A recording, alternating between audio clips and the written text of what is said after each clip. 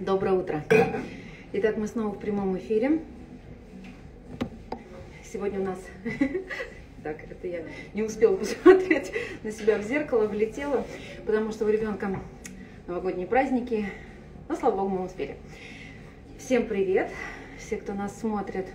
Сейчас буду приглашать Александру. Итак, тема у нас заявлена сложная абьюзерские отношения. Мы ничего практически в этом не понимаем, но хотели бы с вами пообщаться и поисследовать эту тему, так как наш э, сериал «Я заберу твою семью» дал почву для исследования.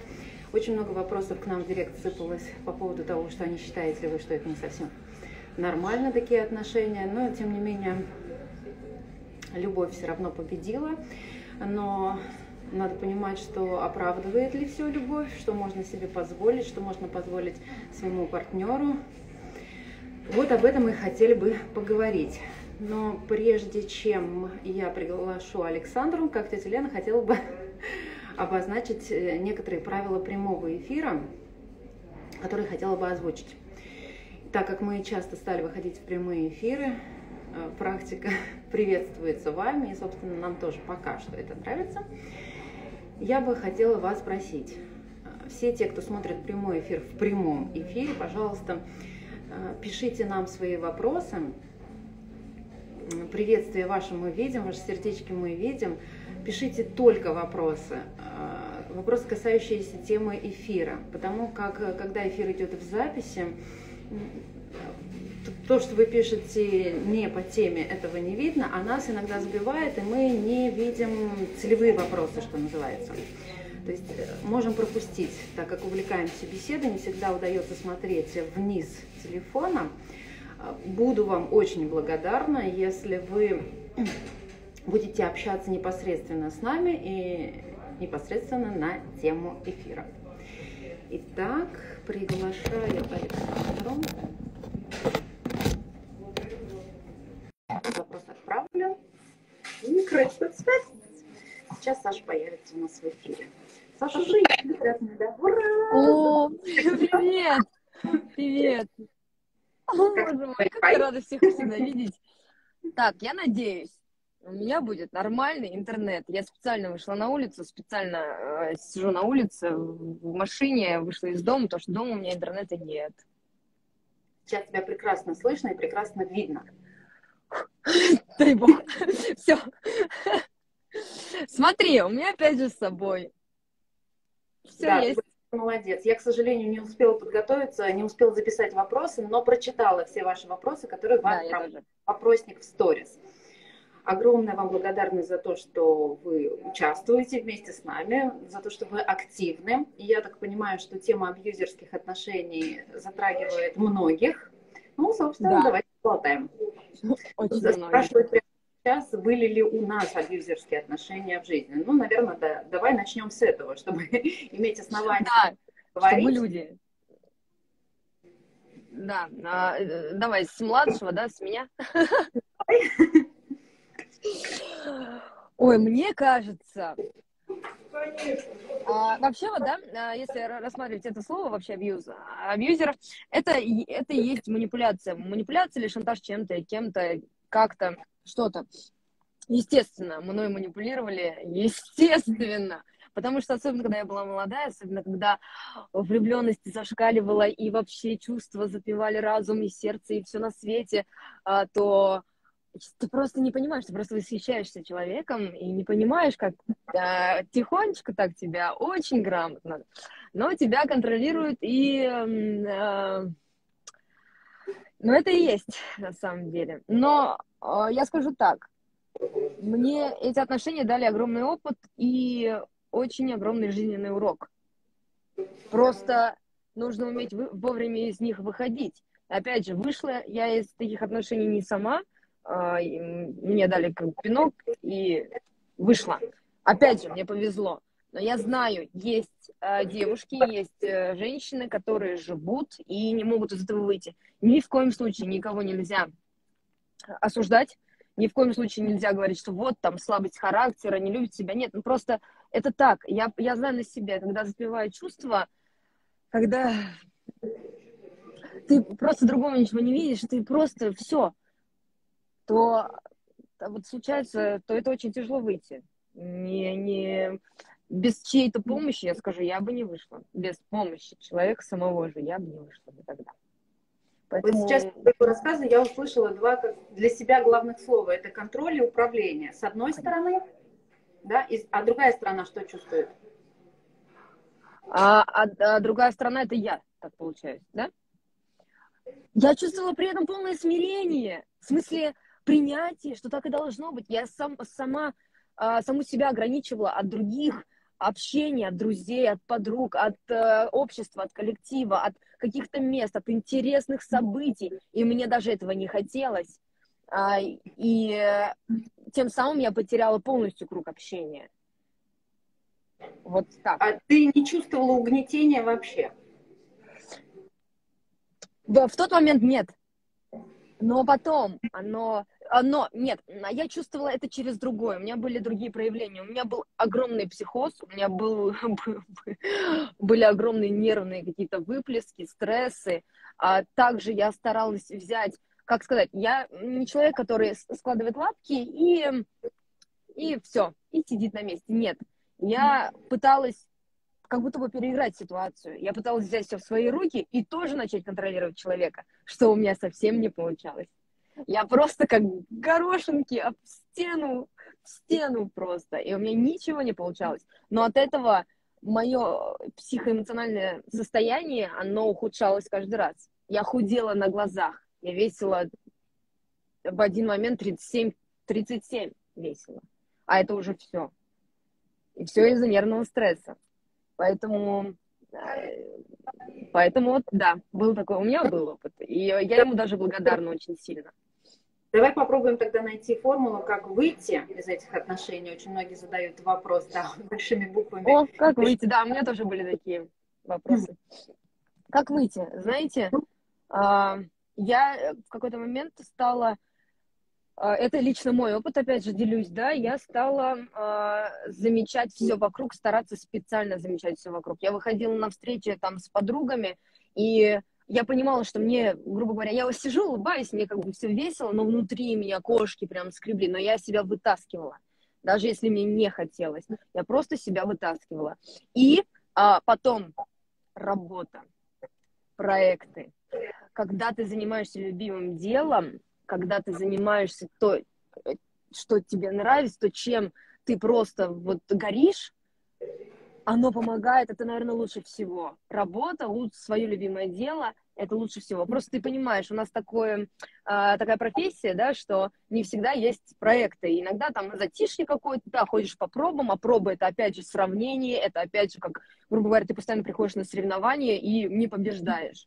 Да? Опять же, это по самолюбию очень сильно ударяет то тяжелее всего в такие моменты, когда не было проектов.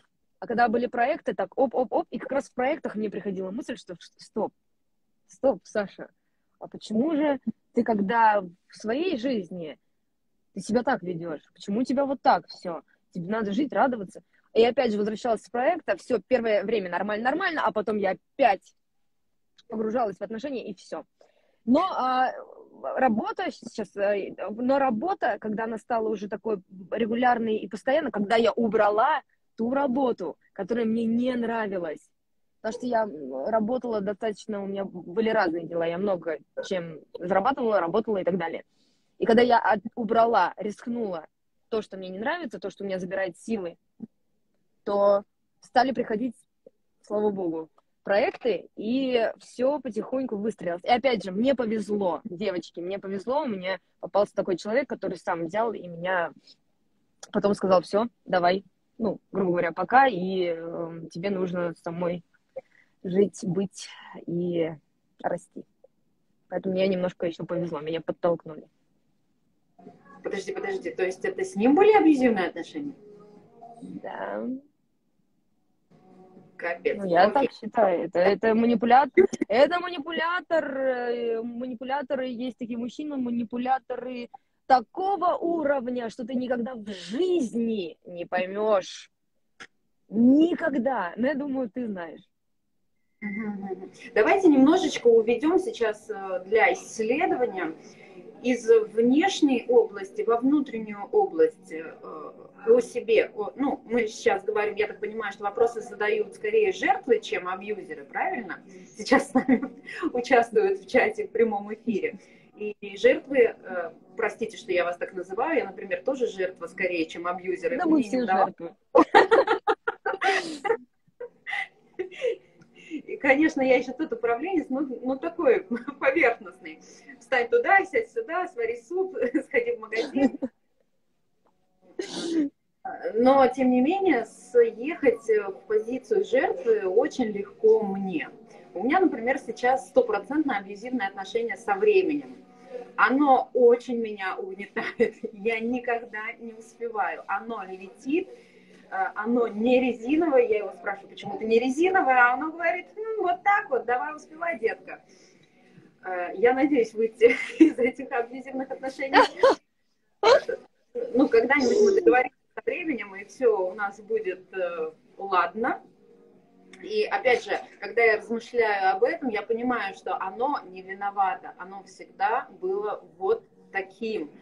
А вот. это я не умею планировать или думаю, что я вдруг почему-то за 15 минут успею это, это, это, а нет, не так. И, ну, это без э, самокопаний, ну, в смысле, не, безболезненных самокопаний. То есть я не, не распинаю себя на кресте, я просто спокойно размышляю, что нужно сделать для того, чтобы все успеть. Опять же, с работы иногда у нас бывают mm-hmm. мы ходим на нелюбимую работу, почему-то делаем какие-то те вещи, которые не хотели бы делать. Все просто. Меняйте, выходите из этих отношений. Да, что касается работы. С работой да. Хотя кому-то, ну вот легко сказать, тяжело сделать, но тем не менее, если вы сядете, мне вот очень а, часто помогает такая вещь, как я беру чистый лист бумаги, делю на две половины, пишу плюсы и минусы. Это очень помогает увидеть mm-hmm. реально, чего больше, плюсов или минусов. Так вам будет легче решиться на какие-то действия. Итак, все-таки переведем в область э, отношений мужчины а, и женщины. Я тебе сейчас скажу, ты хорошую провела аналогию с временем, например, да? Почему? Потому что время, оно такое есть. Оно всегда таким было, оно есть и будет. Так же с человеком. Он таким был, просто ты этого не замечаешь. А потом, оп, и как будто происходит прозрение, а уже сделать ничего не можешь. Да, хорошая аналогия. Нужно а, жить с собой в ладу. Да. да? Вот вы есть у себя самая большая ценность. У себя и ни у кого другого. А, люди могут приходить в вашу жизнь, могут уходить, кто-то задерживается надолго, кто-то оставляют подарки и дарят вам счастье, а кто-то уходит и что-то забирает вместе с собой. А вы всегда у себя останетесь. Вы самая большая драгоценность у себя. И надо в первую очередь себя беречь это такая, знаешь, внутренняя самодостаточность и внутренняя э, самореализация. Это очень такая хорошая тема, к которой я стараюсь идти и иду, и, наверное, только в последнее время стала э, более-менее себя саму ощущать. Потому что, кстати, находясь в таких отношениях, перестаешь ощущать себя и полностью погружаешься в человека. Вот говорю от чистого лица, просто от своего. Вот я сонная, потому что я спала три часа. Все. И сегодня спала три часа? Я что-то вообще, я, во-первых, не могла заснуть, я поздно приехала, у меня вчера была хорошая встреча, правда, она по делу была встреча хорошая, сейчас перейдем немножко. А, я приехала очень поздно, потом а, еще не могла столько же заснуть, встала рано, и поделала свои дела, и поэтому, ну, я так немножко расслабленная сегодня, потому что наконец-то у меня сегодня хоть как-то ничего нет, никаких выездов никуда. Вот. А я еще поэтому... тебя с утра видела. Ну нет, не-не, я уже на самом деле не спала, я просто такая лежала, думала, так, вставать нет. Впервые за долгое время было такое состояние, типа, может встать, а может нет. Так, давай подумаем, откуда берется вот такое отношение к себе, без любви и без уважения, когда мы позволяем другим людям нехорошо с собой поступать. Откуда оно? Оно же у нас не с рождения появляется. Мы с этим не рождаемся сто процентов. Я не, не могу, честно, вот когда... Да. Многие говорят, что это идет от воспитания и так далее, там э, скидывают все на родителей. Я с этим немножко... В этом есть доля, наверное, правды, да. Во-первых, если тебе постоянно говорят, что тебя любят и так далее, тебе хватает любви, и понятно. А я, например, э, росла в семье, в которой достаточно строгий отец, очень строгий отец. И а, поэтому э, вот это воспитание было достаточно жестким. А, не было такого, что давай там э, люблю тебя, там не было такого. И я это нормально воспринимаю. В смысле, у меня нет такого, вот меня не любили, мне не говорили. А, но это, наверное, тоже влияет, когда вот именно в семье есть такая гармония, есть э, такое прям, ну, грубо говоря, любовь, да, в открытую.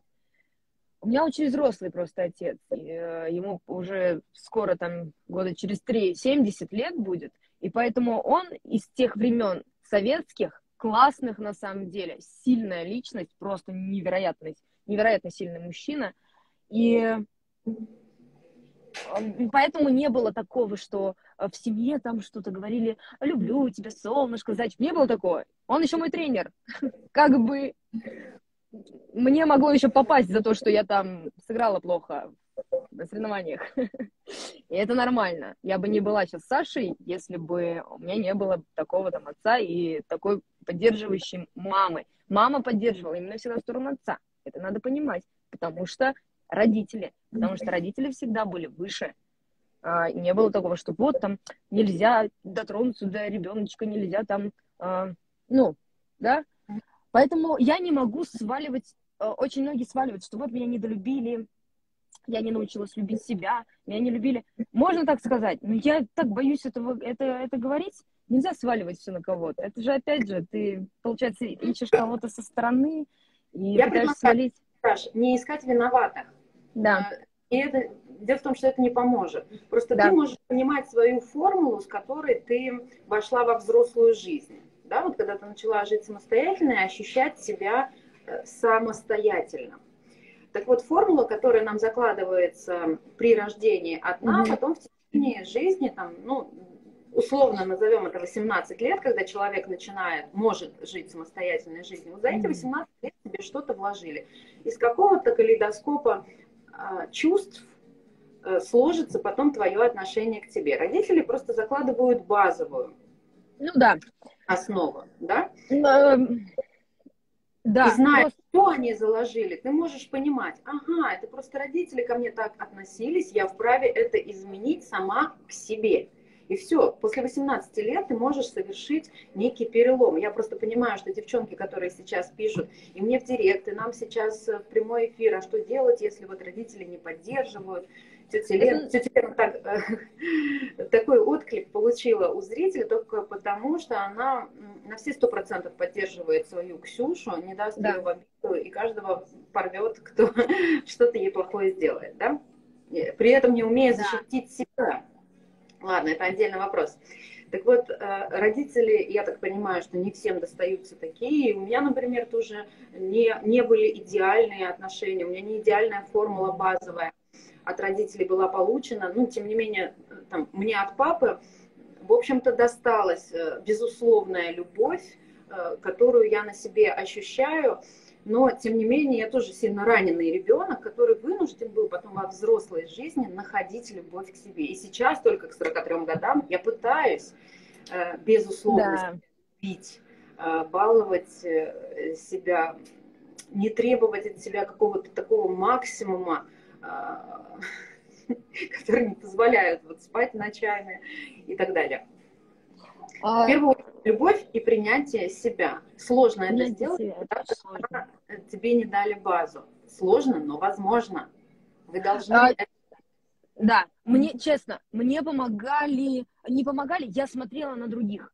Я смотрела всегда, ага, о, вот это вот семья. Я проработала педагогом а, в школе, прекрасный, в частной, ну, вокальной, где я э, как бы сейчас сама просто занимаюсь, приезжаю, пою.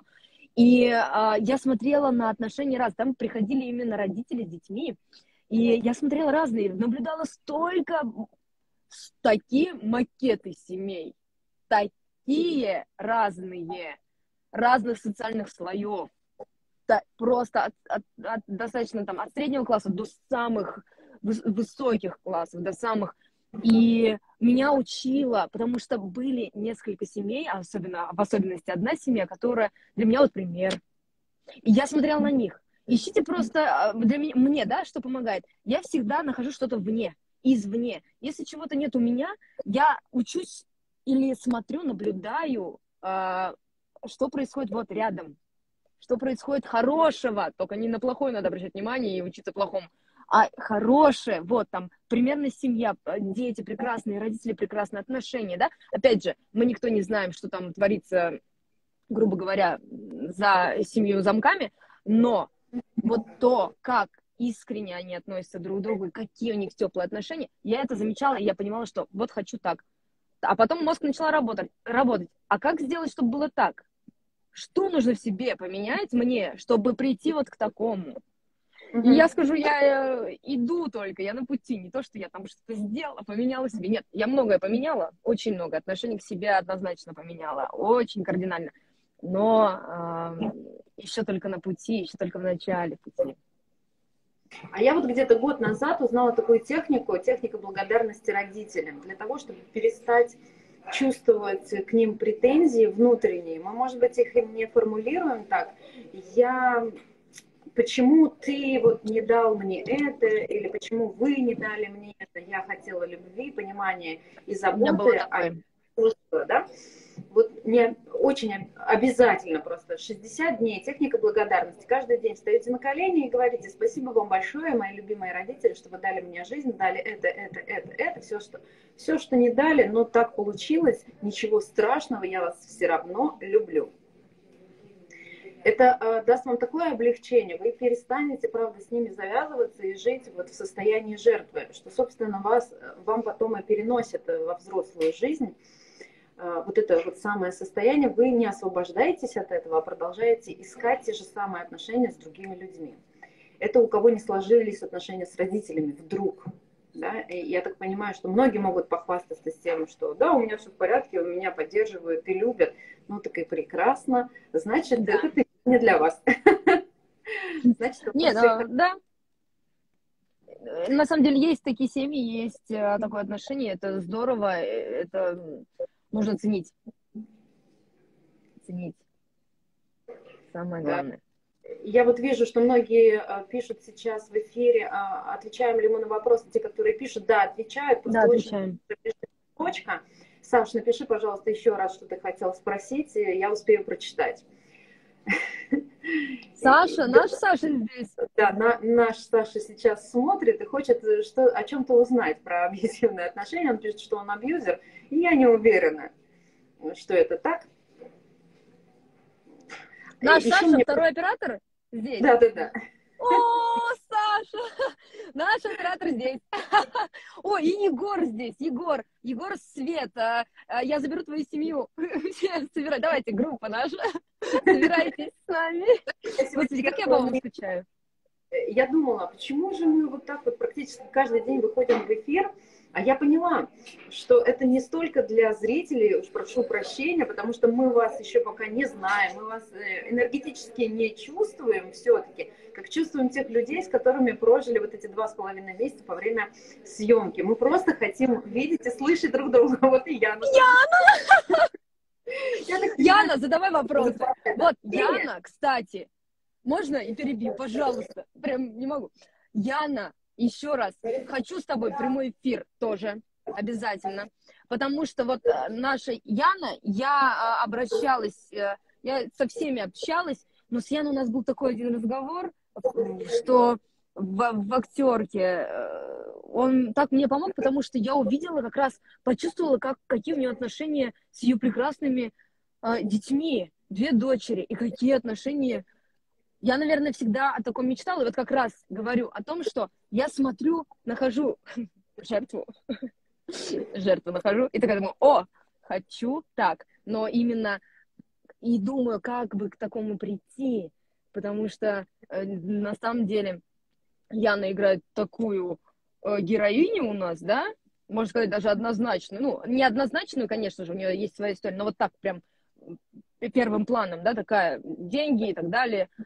Но какой человек? Вот сейчас меня Аня поддержит в этом, что совершенно это прекрасная жена, прекрасная мать и прекрасная женщина. И очень многие зрители благодарят нас за прямые эфиры, за то, что мы позволяем им узнать, какие мы в жизни, особенно в отношении отрицательных персонажей, потому что это очень сложно да, воспринимать человека не таким, каким видели его на экране. Да? Собственно, и про нас то же самое можно сказать. Да? Многие, может быть, разочарованы, что у нас с Александром Никитиным, Никитиным нет, что мы не в браке, да, что да. нет. Я с Андреем. Но это надо принять. Пожалуйста, э, если вам хочется воспринимать нас как тетя Лены и Ксюши, конечно, воспринимайте, дело ваше, но мы совсем другие люди. Аня и Саша. Ну, Аня, у меня к Ане вообще отдельное отношение, честно скажу, пока Аня здесь тоже. А, я с первого дня поняла, что мое, мой человек что-то вот свое такое прям... Не, не потому, что нам надо было маму играть. Причем у нас первые сцены были такие, не самые а, игровые. Помнишь? Это с чемоданом а, в этом, в аптеке. Что-то такое. А, наша встреча в аптеке с чемоданом. Да. Я помню. Это она была. И как бы все такое, что-то скомкано как-то. И я думаю, так, я пока не буду мешать, а, думаю, все будет хорошо. По глазам уже вижу, что все будет хорошо, контакт будет. А, вот. А потому что первые у меня смены были именно с тетей Ритой и с Алексеем, а с тобой у меня потом были.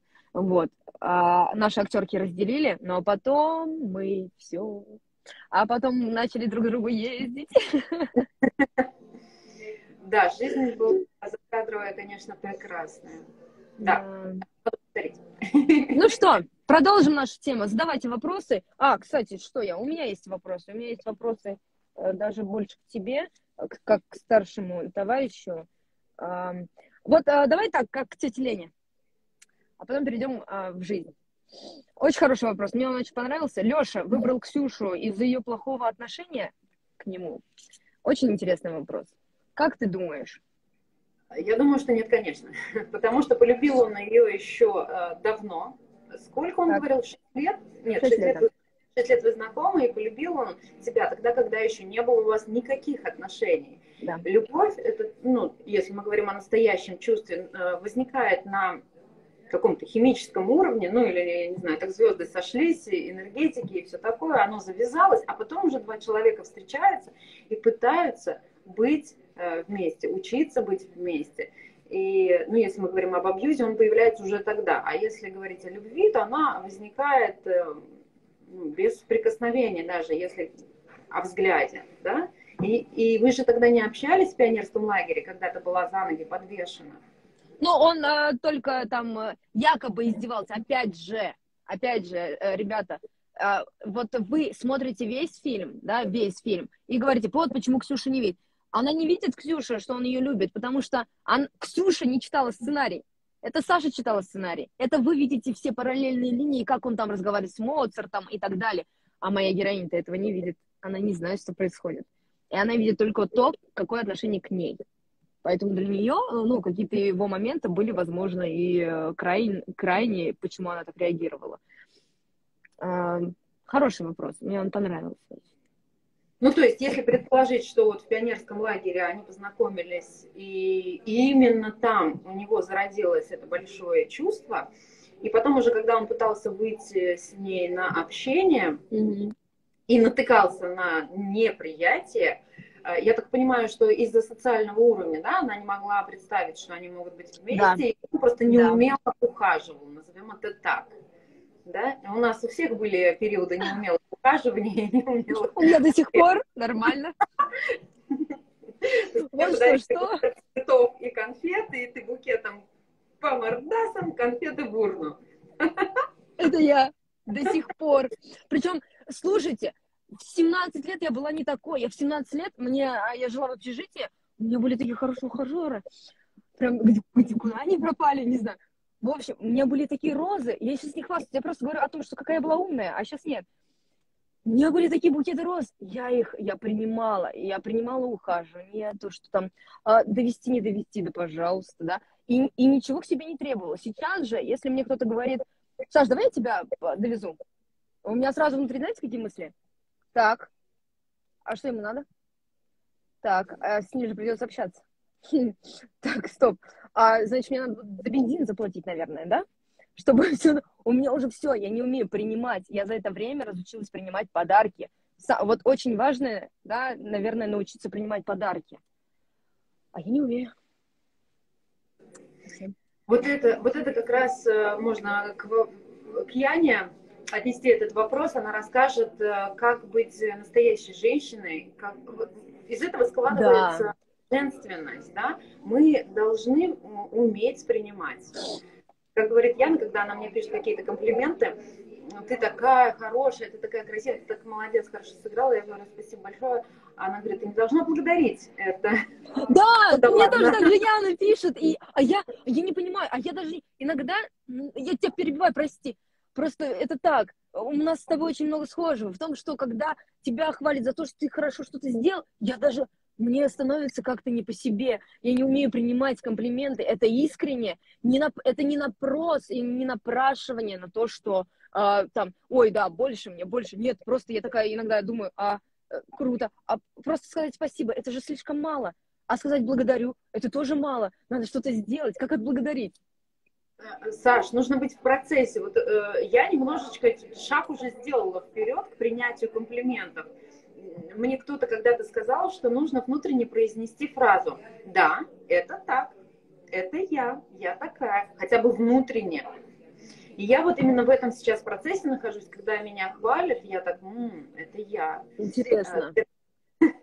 А потом уже мы научимся говорить спасибо, и, ну, или, или просто с благодарностью воспринимать вот эти поглаживания по голове, к которым не привыкли. Совсем Но, не привыкли. Ведь есть еще страх того, что тебе говорят неправду. Вот у меня да. во всяком случае есть Сомнение. страх, зачем меня хвалят, от меня что-то хотят. да? Это тоже такая ловушка, в которую ну, да. лучше не попадать, если верить в то, что все люди искренне. Или пускай эти комплименты ну, никак не влияют на твою оценку. Вот от того, что тебя похвалили или не похвалили, ничего ровным счетом не поменялось для тебя. Ты как была хорошая, такая осталась. Ну или какая, какая-то такая, какая есть. Но вот в нашей, немножко переведу в область работы, в нашей работе мне, во всяком случае, очень тяжело работается, когда я не слышу от режиссера. А, хорошо Аналогично. И когда нет никакого комментария, никакого взгляда, никакого слова, и ты не понимаешь, кто ты сделал или не то, да. что поменять. Э, в этом смысле с Сережей э, у меня э, была такая сцепка, такая связь, я могла на него посмотреть, увидеть его взгляд, он мог мне просто кивнуть, моргнуть одним-двумя глазами, я все понимала, да или нет. Честно скажу, я иногда доставала нашего режиссера, подходя так, туда, Саша, туда, спокойно, туда. Я так более-менее так, ладно, ладно, ладно. Это не, не к тому, чтобы услышать там, о, господи, ты гениальный, а просто да или нет, ты туда вообще идешь или нет, или ты уже свернул и все, уже в лес пошел. Как можно понимать. Договаривай. А, Саша снова написал нам какие-то сердечки, но не написал вопрос. И Женя появилась в эфире. Но мы продолжим, продолжим все-таки сойдем а, на тему отношений мужчины и женщины. А, вот был еще вопрос у девчонок, а что если мужчина ударил? Ну, парень, мужчина. Девочки, умоляю вас, лучше раньше, чем позже. Обозначьте свои границы. Личные что границы. можно сделать, делать, а что с вами нельзя делать. Я понимаю, что сейчас очень сложно судить о времени, в котором воспитывали нас наши родители, да, и ну, даже и в наше время сейчас есть, когда детей бьют и они к этому привыкают, они считают, что это нормально, что особенно вот э, родителям ни в коем случае нельзя это делать, потому что ребенок делает связку, а, бьет, но любит, потому что родитель должен любить. Это единственные, ну, два человека на земле, которые любят, и они бьют. Значит, это нормально. Так вот, это ненормально. Я призываю всех родителей найти в себе силы, найти в себе ответы на вопросы, как так воспитывать детей, mm-hmm. чтобы не прикладывать руку. А, я могу поделиться своим опытом, так как я мама еще пока молодого человека, ему пять с половиной лет, но тем не менее у меня тоже вставал вопрос, хотя я внутренне себя отвечала, что я, я никогда видеть детей не буду.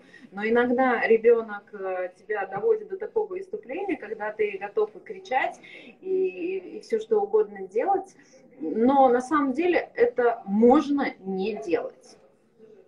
Просто, ну, вот, понятно.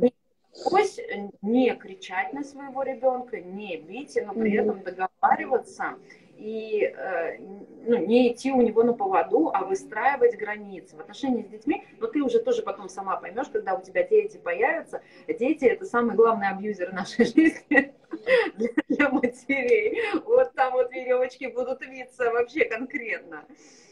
И как быть в плоскость здоровых отношений, и он, главное, тебе будет потом благодарен. Я первые годы жизни особенно была такой жертвой своего ребенка, готова была делать все для него. И потом поняла, что он, так как ему разрешают, он этим пользуется. И умные люди подсказали, алло, алло, гараж, девочка, ты кто для своего ребенка? Ты должна быть примером матерью, которая любит, но ни в коем случае не является вот такой зайкой, как когда бьет, значит, любит, Саша пишет. Да, бьет, значит, Саша. Нет. Забудьте об этом.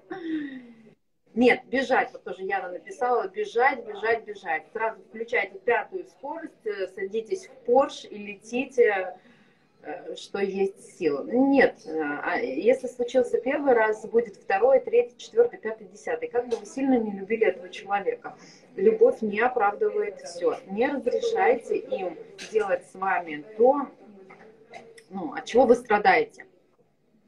Вот ну, это как раз... Эти слова могут быть пустым звуком для вас, если вы это не приняли как э, правило. Вот говорят, надо вовремя понять начинайте уже сейчас. Просто когда вы вступаете в эти отношения, э, э, ну, не в эти, а просто в какие-либо отношения с мужчиной, вы должны понимать, как вы хотите, чтобы к вам относились. Вот и все. Да, но вот, да, к сожалению, меня этому научила сама жизнь, учит, не научила, учит, к сожалению, потому что, ну, ты знаешь, какие со мной происходили события а, в последние месяцы, и я понимаю, что попала под реально раздачу манипулятора и абьюзера и вообще полностью просто, ну, там, букетище, но мне надо было это пройти, и пройти именно с вами, я заберу твою семью, мне надо было это пройти, все то, что было сейчас, видимо, а, потому что после, только после вот моих событий, после того, когда меня действительно растоптали, я поняла внутри искренне, что такое личные границы. До этого я знала это как фразу, до этого я знала это, что такое в уме, до этого я понимала, что да, личные границы. Но сейчас я точно поняла, ну, в смысле, внутренне это осознала, но через такую боль.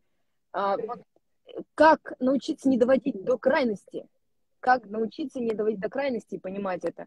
Это нужно прям, чтобы разум, наверное, над чувствами э, ну, превалировал. Но я считаю, что, ну вот если воспринимать отрезок, вот э, здесь начало, а здесь крайность. Вот в начале надо останавливаться. Ну, да. если, если есть силы, да, если уже есть опыт. Но так, чтобы не проживать какой-то свой опыт, слушайте умных людей. Если нет рядом, как же выбрать умного человека? Ну, не знаю, сердце подскажет. Вот если кажется вам, что этот человек э, дает какие-то отдельные советы, тоже сложно, да? Вот Не, оно на самом деле вообще такая. Это, ну, наверное, да, человек должен уважать как раз твои личные границы. Изначально уважать их и не нарушать. И это будет первое. Если он уже лезет уже с первых моментов, или там со второго момента уже начинает пролезать и так э, сначала щелочку делать, потом ломает твою вот эту стену, да, а ты позволяешь, это все именно в начале, именно если он начал уважать изначально твои личные границы, твои как бы даже не условия, а вот, да, твое восприятие, а, твое отношение к жизни, к твоим друзьям, к твоему окружению, а, общению, то, наверное, это тот человек. Да, если вы находитесь уже внутри абьюзивных отношений, а, допустим, вам тяжело, в принципе, объективно осознать эту ситуацию и свое положение ну вот тяжело, не чувствуете, не понимаете, слышите, как пустой звук, мы вам говорим, ребят, ну или девочка, ты в абьюзивных отношениях, ты жертва сейчас, выйди из них. Просто пустой звук пролетел, да. в одно ухо влетел, в другое вылетел, да? да? Дайте себе возможность день, два, три, ну сколько у вас, э, ну, позволит вам жизнь, выйти, ну, уехать, что называется, на необитаемый остров, уехать к подруге, уехать к какому-то близкому человеку, который сможет с вами просто посидеть, помолчать. Или вы выговоритесь и немножечко придете в состояние дзен и посмотрите на эту, сможете посмотреть на эту ситуацию со стороны. Очень в этом смысле помогают а, расстановки. Знаете, что это такое? Ты, Саш, ты знаешь? Нет, я не сходила на расстановки, нет, пока нет. О, это вообще крутая тема. Она я знаю, но я не ходила. Не, не ходила. Я в свое время, ну и продолжаю увлекаться психологией, потому что наша актерская профессия ну, не заставляет нас, да, а мы, это часть нашей профессии, интересоваться людьми, изучать людей через психологию. Так вот, э, расстановки в первую очередь для меня сделали огромный рывок в осознании того, как я живу.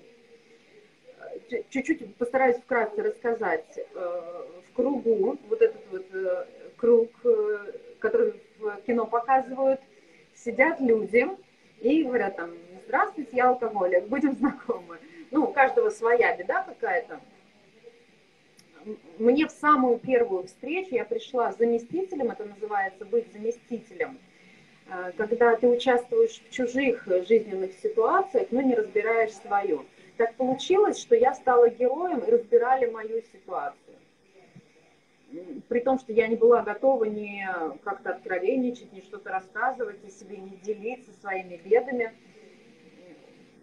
психолог очень грамотно со мной поступил, застал врасплох и разобрали мою ситуацию. Это было потрясающе. Там выбирают заместителя, то есть выбирают Аню. Выбирали Аню, то есть другой человек был мной. Я ничего не рассказывала, ни кто я, ни что ни как я, ни что за ситуация. Был один единственный вопрос, на который должны будут отвечать все участники этой ситуации. Что ты чувствуешь? И вот э, первый вопрос был задан мне конкретно, я в тот момент испытывала чувство вины.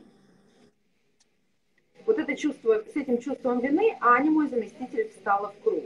Потом выбрали чувство вины. То есть человек был виной. Ага. И психолог попросил, встань, пожалуйста, где ты считаешь нужным. Вина подошла к Ане, взяла ее за руку. И, о боже, это было потрясение. Психолог спрашивает, почему ты взяла ее за руку? Она говорит, а я всегда с ней. Я всегда с ней.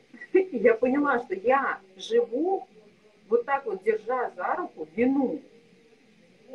Э, Слушай, интересно. Это осознать, как это так. Ну и так далее. Дальше начали развивать, к кому, из-за чего, почему. И вышли в итоге к тому, что я совершенно по-другому воспринимала эту ситуацию, в которой я нахожусь. Это очень круто. Вот, что касается абьюза, я считаю, что вам очень сильно помогут вот подобные расстановки, чтобы вы смогли увидеть себя со стороны. Так как внутри, конечно, ситуация не Ну да, да, да. А те, кто и, и, и там и еще не оказался, и не собирается, и, но тем не менее задают себе вопросом, как там не оказаться, да любите себя просто. Вы зайки, киски, лапки, вас нужно обнимать, целовать. Да, я вижу, А он там до этого, посмотри, что он до этого написал. Он написал, а если там муж приходит с работы уставший, а, посмотри. Наш оператор просто самый лучший, ребята. Ну, давайте не будем что в отношении мужчины и женщины, да, кто-то иногда дает, кто-то получает. Это может меняться. Это не обязательно, да. что ноги дверь открывает, да, а жена ему на подносе обед приносит. Вот я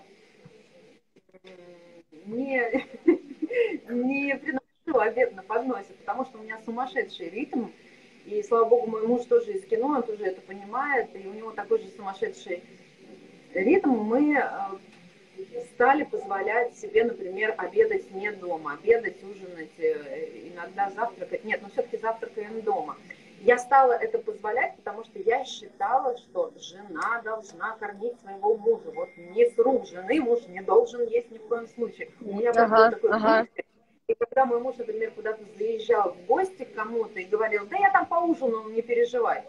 В смысле, тебя другая женщина покормила? Этого не может быть. Опа! Мне кажется, я абьюзер. Я бы... Я бы такой, не знаю, типа, так, стоп. Если бы мой Агапов, например, заезжал к Юле, я так просто, да, думаю, а, так, я бы выяснила отношения. Ну все, с годами это проходит. Тебя начинают требовать ужин, а ты не успеваешь. Слушай, сходи, поешь. Э, Юль, Юль, привет. Слушай, можешь, пожалуйста, накормить... Э, боже. Ну, слушай, а хорошая тема. Не знаю, вот был хороший вопрос сейчас, я просто читала параллельно. Как э, такое э, двойное обращение, Аня, Саша, как справиться с одиночеством, что-то такое. А, скажу так, я, например, не то, что одинокий человек, я свободный человек. Опять, опять же, не одинокий, а свободный свободный человек. Это очень важно, потому что мне можно во всем сказать, что я одинокий сейчас человек, потому что кроме кошки, на самом деле, и, да, у меня есть, опять же, меня спасает, что у меня есть подруги, а, действительно лучшие подруги, но они, а, у каждой съемки, у каждой свои дела, мы не встречаемся там раз в неделю, мы встречаемся раз в месяц, дай бог. Вот, и поэтому я могу сказать, что я вот одинокий человек. Нет, я свободный человек. И опять же, над этим я тоже работаю, как и вы же. А, и нужно опять же, я сама себе, сейчас себе говорю, нужно учиться наслаждаться свободой. Реально, я иногда прихожу домой и думаю, круто ведь, никого нет. Да круто, я могу сейчас сделать то, я могу сейчас это сделать. Я могу не спать, могу спать, а могу поесть, могу не поесть, могу заказать, могу не заказать, а могу посмотреть, не посмотреть. Понимаете, это нужно осознать, что свобода и свобода выбора есть. Свобода за собой несет свободу выбора. И принять это. Но никогда не говорить, что я одинока. Потому, я сама, это, опять же, я не, только, не только вам это говорю, я себе это говорю, потому что я сама через это все прохожу. Вот это очень круто. Мне кажется, это достойно отдельного эфира, эта тема по поводу свободы. Потому как э, я до недавнего времени тоже считала, ну, не тоже, а считала а, одиночество, и я его пока пока что я его так называю, неким угнетенным для себя состоянием. Я человек, который не может быть один, ну, катастрофически, хотя иногда хочется сбежать на необитаемый остров, ну, от э, количества общения и так далее. И для меня, например, есть очень большая разница, когда я в экспедиции, ну, например, в Киеве я в экспедиции, да, я в другом городе, я абсолютно одна, мой муж и сын остаются дома. И как мне дико одиноко, никого нет вечером, с кем можно поговорить, кто будет на тебе прыгать, кричать «мама, мама, этот вопрос, этот вопрос, этот вопрос» и так далее. Да. Да? Но, тем не менее, я сейчас тоже прихожу э, к тому, что нужно получать удовольствие от этого состояния, ни в коем случае не называть его со знаком э, минус. Да. За время съемок э, в я заберу твою семью, я успела начать учиться. Правда, не все лекции были мною прослушаны, но некоторые домашние задания мы выполняли. Мы выполняли. Свобода дает очень много, вот видишь, я уже тоже называю это словом свобода, а не одиночество. Да. Свобода дает очень много возможностей развиваться. А, нельзя сказать, что в отношениях вы не развиваетесь. Слава богу, что если вам ваша вторая половинка дает возможность развиваться, это надо ценить, естественно. Ни, ни в коем случае, девчонки, не уходите в кастрюле э, и что там, уборку, готовку. Развивайтесь, сидите дальше, и тем самым ваши отношения с мужем тоже будут развиваться. Вот, чтобы потом не сталкиваться с этими кризисами 7, 10, 15 лет совместной жизни, а для того, чтобы вот как Яна прожить уже 25 лет вместе и быть счастливыми и довольными. Вот я не да. сделать э, эфир на тему «Счастливая жизнь в браке». Да, я, со мной! Скажи нам, со мной! А, и вопрос был, замужем была я или нет, тоже сейчас спрашивают. Нет, я не была ни замужем, нет, не была. Замужем не была. Не знаю, что это такое пока что. Может, когда-нибудь узнаю. Может, я да. А, как признаться парню, что что ты чувствуешь? А было ли в твоей жизни когда-нибудь, когда ты сама первая признавалась о своем чувстве? А, ну, в моей жизни было не так много отношений, всего два. Ну, поэтому ни, ни разу, ни в первый раз, ни второй раз я первая не была. Нет. Нет. Но, э, но если мне кто-то нравится, просто нравится, например, ну просто издалека, там, эстетически или как-то, честно скажу, это не относится к тому, что я признаюсь, но я могу сказать и подойти. Слушай, у тебя, как Саша, подошли однажды, сказали, у тебя такие красивые ресницы. Я могу сделать комплимент. Смотри, я могу спокойно, а, я вообще, в принципе, умею делать комплименты. Не умею их принимать, но могу сказать, любой женщине на улице подойти и сказать, вот там у вас такая прекрасная улыбка, или любому мужчине у вас там такие, не знаю, добрые глаза. Поэтому, мне кажется, если э, как-то хочется признаться кому-то в чувствах, может быть, начать просто с внимания к нему. В плане просто проявить к нему внимание. Человеческое внимание. Человеческое. Вот спрашивают, да, стоит ли быть инициатором да, отношений? Я в свое время, где-то лет в 15, тоже начала задаваться этим вопросом. Особенно тогда, когда на дискотеках в пионерском лагере mm-hmm. вот так вот мальчики стоят вдоль стеночки, а девочки танцуют да, и, да, да. Ждут, ждут, когда их пригласят. Меня дико, ну, я не принимала эту ситуацию. В смысле вы стоите или мы стоим и что-то ждем, когда нас пригласят. И вот уже тогда я себе ответила на вопрос, что вообще нет ничего такого, если ты подойдешь и ты пригласишь. И я подходила, и я приглашала, все девчонки мне завидовали, как я набралась только смелости. Зато я имела а, танец, да, у меня, ну, тогда еще 15 лет у нас не развивались никакие отношения, дальше ничего, ничем делом не заканчивалось, но я подходила, приглашала, мне не отказывали, мы танцевали. Хотя нет, вру, может быть, какие-то отказы и были, но это никак меня потом в дальнейшем не останавливало. Потом, например, тоже это из э, пионерской жизни, из, из тех летних месяцев, проведенных... Я просто уже вспоминаю свои лагеря. Слушай, это было круто. Например, я училась целоваться с мальчиком. Ну так, давай, слушай, научимся целоваться. А давай. Вот нам по 15 лет. При том, что мы не парень с девушкой, мы такие друганы. А давай, а давай. А все это нужно даже нигде не прятались. Это было ну, кинематографично. Мне кажется, нужно снять короткометражку на эту тему. Это была причем зимняя смена. Мы почему-то ездили в бассейн в тренерском лагере. Вот нас весь отряд везли в бассейн, и мы там всем отрядом плавали. Мы с ними договорились, давай так, чтобы никто не видел, чтобы нас потом не захейтили. Правильно? Хейтить? Да, да. Молодец. Мы так, договорились, ты стоишь в одном конце бассейна, я в другом конце бассейна. Потом мы по команде ныряем, встречаемся в центре бассейна, целуемся, и дальше оп, и никто ничего а, не видел. Вот у вас план был прекрасный. Слушай, а у меня первый поцелуй был... А у меня был первый поцелуй в 17 лет. О боже, не знаю, это как-то было, это так было странно, меня просто поймали. В плане, а, меня как-то... Я очень нравилась этому парню, он меня как-то увлек, отвлек, там, типа, о, классно, а я, у меня с собой есть всегда а, ракетка настольного тенниса. Я а, кандидат мастера спорта, и у меня всегда на с собой в чехле все, ну, как надо, это профессиональное все.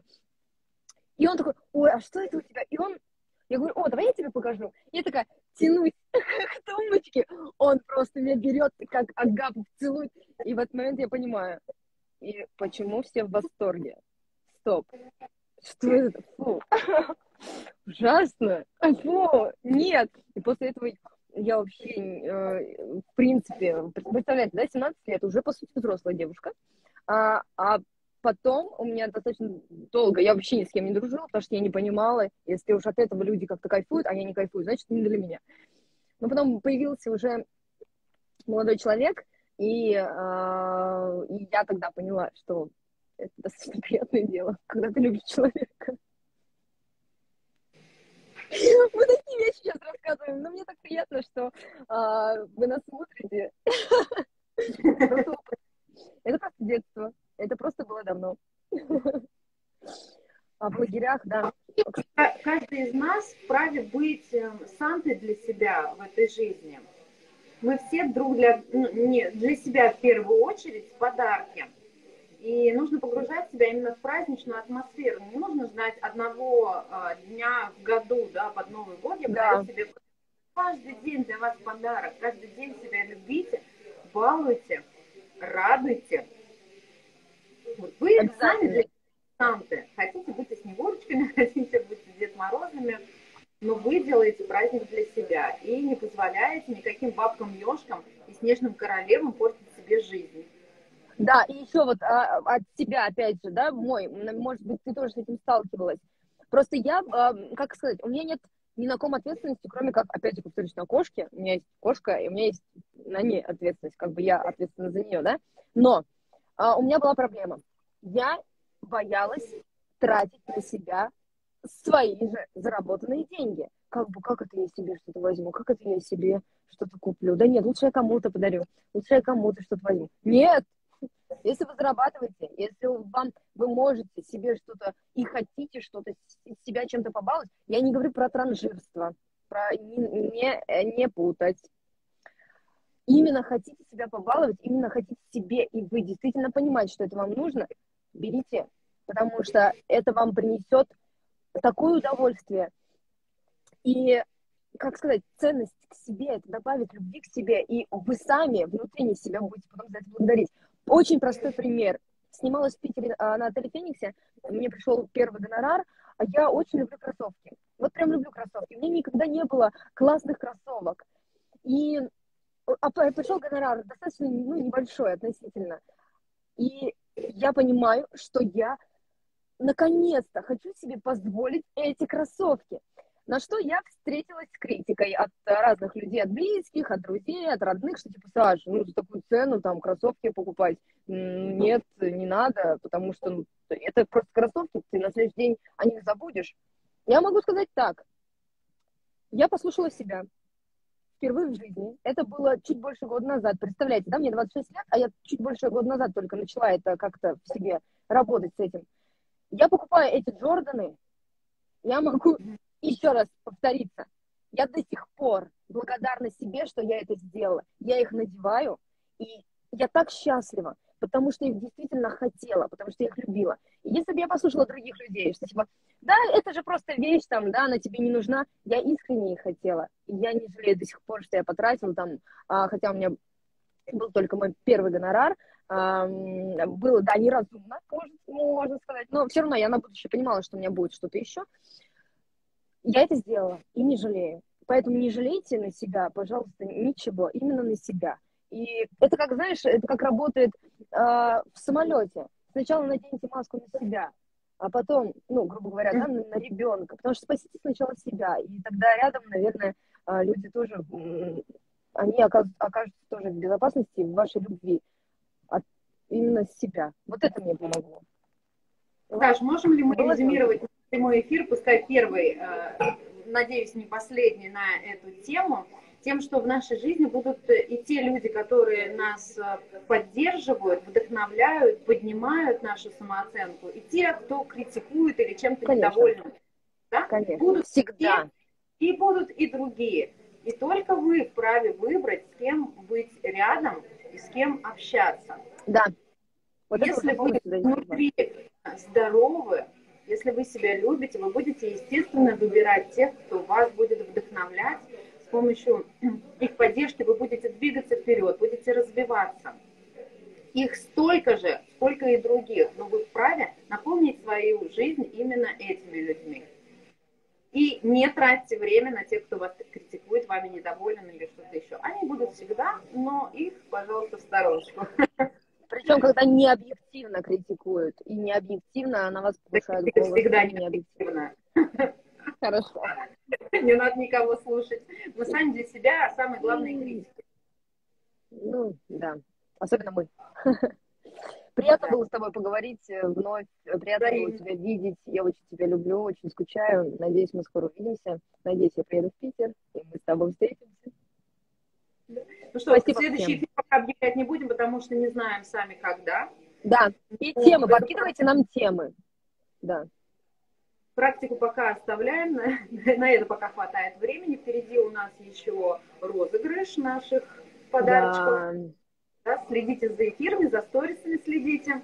Для кого-то подарки будут сюрпризом. Оставляем вас пока в неведении. Спасибо вам огромное за вашу активность, за ваше участие, за то, что нас смотрите. Ну и до новых встреч. Пока. Сейчас, подожди, как это? Где? Как-то вот, вот. так. Ущербное сердечко вот это вот, я не знаю. Раньше двумя руками делали. Двумя руками. Ага. О, вот так. Я теперь еще Или могу. вот так, смотри. Боже сейчас вот так. Ну что это такое? Ну все, всем пока. Спасибо. Пока-пока.